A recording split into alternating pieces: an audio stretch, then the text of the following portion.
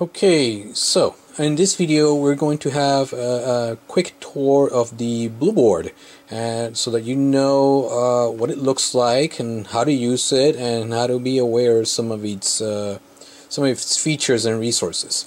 So here's the development kit that we will be using for the uh, for our course microcontroller applications okay starting with about lab 4 onwards you will actually be using hardware to run and test and demonstrate your programs on an actual hardware platform. Okay, so this is the AT90 USB 1286 trainer, which is also called the STEMBot. Uh, you will see some documentation uh, for reasons I can explain later if you ask. Uh, but we will just call them the blue boards because the uh, electronics are mounted on an actual metal frame that is blue. Okay, the boards, uh, my board here is actually because I bought my own, comes in a uh, nice little uh, binder I can zip up and close and carry it with me. But uh, yours won't be attached like this, it'll just be the blue board by itself and nothing else that we will provide to you in lab when you come in the lab. Um, so let's just kind of take a closer look. So the, the board uh, basically has USB connectivity, a USB cable that you connect to the computer. Everyone, everyone's familiar with that. And the power comes from the USB. In here, we see this little mini uh, uh, PCB card that contains the actual microcontroller. So if I flip it over here and then we uh, come in closer, we see that that little guy right there, if we can get it into focus, that little squared chip is the uh, the microcontroller itself, the AT90 USB 1286. So when you run code and you upload your program, it's actually being flashed into the uh, this particular device's uh, internal memory. Okay, so there's that. Then let's see what else. To the right here we have the on-off switch Okay, whenever you upload a new program and you want to run it, you don't hit the reset button. Instead, we always just turn it off and turn it on back again to make sure that we always start from a fresh state. And then the microcontroller is completely reset and initialized. Okay, we want, just want to make sure of that. And then after that, we have these important buttons. We have a bootloader button and a reset button. And you need these to put the board in bootloader mode.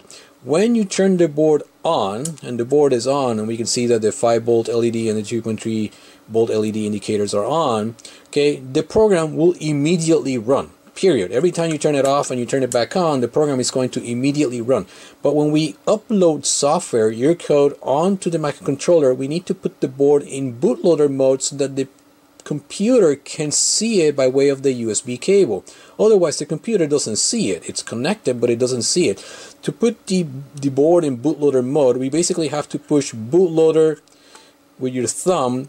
You have to hold the bootloader button first and then push reset while holding the bootloader button and then let go in reverse order. So we do bootloader reset, reset bootloader. Okay, at that point, the computer will see that the uh, when you look at the, the, control panel, the device drivers menu, you will see that the board is detected, and that is actually shown in a separate video. But this is basically how you do it. Again, bootloader reset, reset bootloader, kind of like Control C. Okay, don't do it in reverse order. Um, so that's that.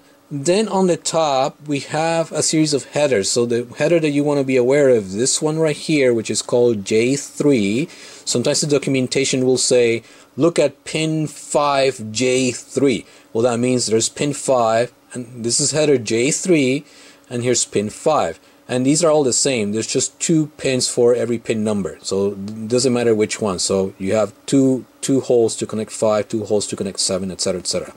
Okay, here, this one is very important, J7. This is where you get power from the board that you use to power any electronic circuit devices that we construct here on the breadboarding area because this breadboard does not have its own power. Even though these holes here, this row of holes has this blue line here and this row row of holes has the red line over here, it gives the impression that these are powered. But novice students, they put their circuits and then they hook wires from their circuits onto these two rows thinking that they're going to get power, but there's no power, right? This is just a visual indicator and nothing more.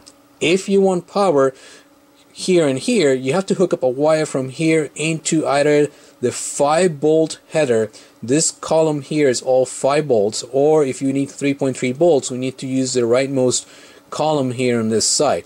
The middle column is all ground, which is kind of hard to see, but you you could tell that it's pointing the ground legend indicator points to the middle.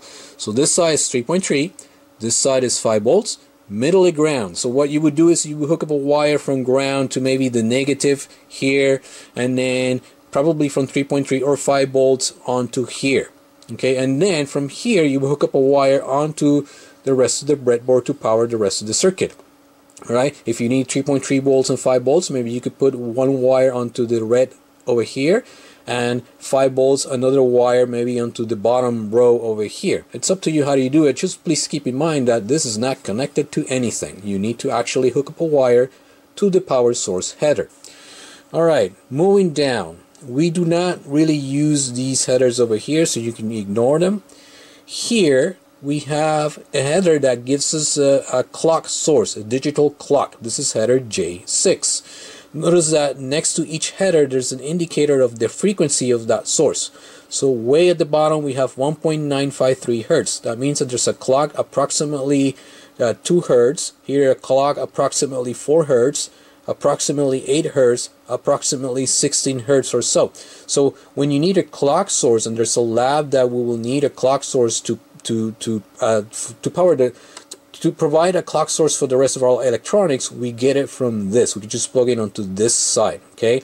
It's on this side, not this side, not the middle, but on this side, leftmost row.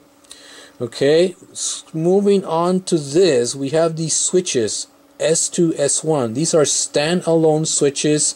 I think they're attached to a Schmitt trigger. Uh, this is not connected to anything. If you want access to these switches, you can actually hook up a wire onto these two headers. So if you look closely, we see SW1, SW2. That gives you access to this push button and this push button. I've been using the word switches, but I mean push button. Um, so you hook up a wire from here, put it on your electronics, and then when you push here, you get access to the button. I think these are active low, so when you push down, you'll get an active low signal. You get a zero volt. Okay, moving down here further, we get the LCD display, which is uninitialized. So that's why we see this block of squares here. It's actually a two-row display, but you need to know when you have not initialized your display with your code. There will be a lab that we will actually talk to this guy and display characters in here. And if you see this, that means you have not successfully initialized your display. So there's something wrong with your code. To the left here we have a bar graph LED. Each one of these LEDs can be independently uh, turned on. Uh, you can't see it. Let me put my hand in there. This bottom LED is always on. That's just an on indicator. The LED after that is always off. It's not used. And then the remaining eight LEDs are accessible by program code and I think these are tied to port C. So every IO port bit on port C is attached to each one of these LEDs so you can write all eight, eight bits and you control whether these turn on and off. Okay um, then we have here the dip switches. These switches you will use to provide input to your code. Now usually these should always be in the off position. If we look closer okay? Notice that these are all in the off position. There is an on indicator. That means that if I move this in this direction then we have to switch in the on position. Okay? It's kind of hard to tell because of the light right? So always make sure that when you start your programs from on to off I mean off to on uh, you start with these in the off position. Okay? So these are tied to port E. So that means that when you read data from port E you can find now which of these switches are toggled on or off. Okay, you need to make sure to remember that these switches are active low. What does that mean? That means that when the switch is in the on position, on position means physical on position, that if you read the bit value, it will be a 0 instead of a 1. It will be inverted logic, okay? So right now, because I have all the switches in the off position, that means that I'm going to read all ones. That's what active low means. It turns out that the bar graph LED is also active low. if you write a value 0 it will turn the LED on if you write a value 1 it will turn the LED off okay right here we have two 7 segment displays once again each of these little segments is connected to one bit on port A I believe right including the dot so you have any 8-bit pattern will present turn these LEDs on or off. Some of those bit patterns actually form numbers like 0, 1, 2, 3, etc, etc. But you have to give it the right pattern to show it. There's another bit on a different port, and I can't remember what that one is. It's on the documentation that selects whether you want to turn this one on or this one on. Unfortunately, we cannot write to both displays simultaneously at the same time. So what we do is that we write to this, then we toggle a bit to write to this, and then we toggle a bit to write back. And if we do this really fast, we give you the illusion that these two are being turned on simultaneously. Okay, you're gonna learn about that in later labs. These two switches, which are very different from these two switches. These two switches are not connected, button, push buttons. These two push buttons are not connected to anything. If you want access to these buttons, you have to use this header and hook wires in here. But these two buttons are actually hardwired to these first two dip switches.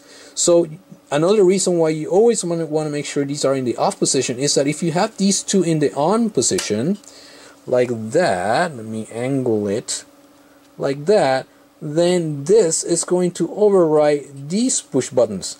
So there will be labs that you will need these push buttons and you'll notice that nothing happens even though you're certain your code is correct. Well, have you made sure that these are in the off position? Because if they're not, they're going to override this. So make sure these are in the off position. And by the way, since these two override these, that means that these two are connected to the same port, port E. Okay.